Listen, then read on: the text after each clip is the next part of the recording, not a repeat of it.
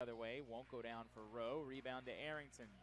Ethan Jones lobs it forward. Smith open and dunks it home. Cam Smith with the slam.